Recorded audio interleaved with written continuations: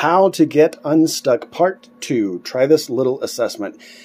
Choose three to five categories in, of your life that are really important to you to make progress in. Okay, for me, uh, the relationship with my wife, uh, my physical fitness, and my business, those are three big ones that come to mind. You might have others. Once you find your categories, I want you to rate yourself on a scale of 1 to 10 as to how far outside of your comfort zone you are right now with the actions that you're taking. 1 to 3, kind of a danger zone. You're probably perishing, things are probably going backwards for you. 4 5, incremental progress. This is probably just slightly out of your comfort zone once in a while, and you may be making some progress, but you still might be feeling a little bit stuck. Six or seven, this is the sweet spot.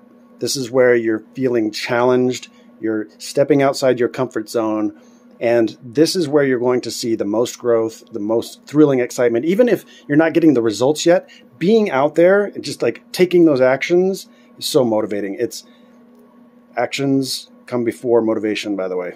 so this is a real key here to find that sweet spot of assessing yourself in that position. Now, if you're an eight or a nine, like way up there in the outside of your comfort zone, that's dangerous. That's unsustainable. It's not something that you can live in for very long. You might even get injured, uh, whether it's physical or psychologically or whatever. So, do this little assessment and let me know what you find out about it.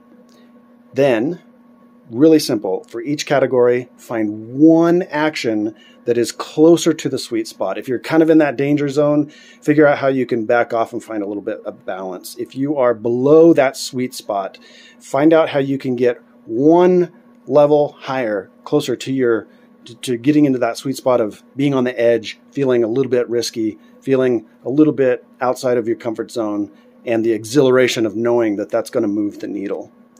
Find one action for each category. Oh, yeah, then do it.